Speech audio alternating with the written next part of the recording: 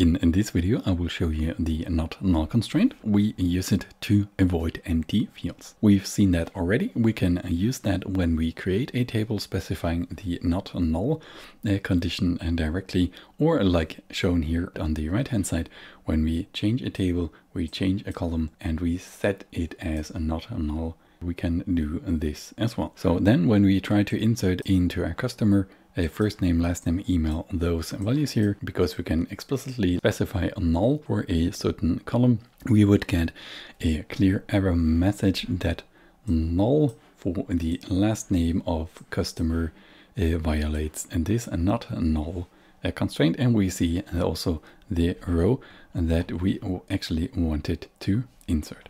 Let's look at this directly in the database. Here we got the script not underscore null underscore constraint dot SQL.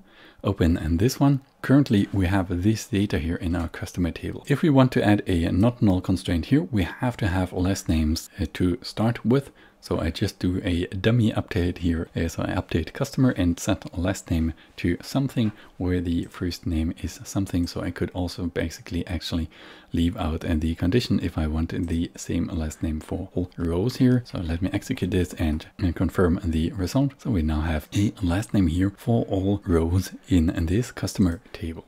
So I can now go ahead and change this customer table by adding this not null constraint here. As you can see, alter table customer, alter column again for uh, changing the column specifically and then here set not null the contrary would be drop not null okay and then here uh, we can execute this and now if we insert a new customer for example this person here then and this is fine uh, what we could also do still, but it's not really a best practice and not recommended, we could obviously insert an empty string here and then have this one uh, still in the database because an empty string is not the same as a null. But if I do something like this, this would not work and would not get inserted into our database. But also for those cases here, we maybe uh, define some other condition on our database.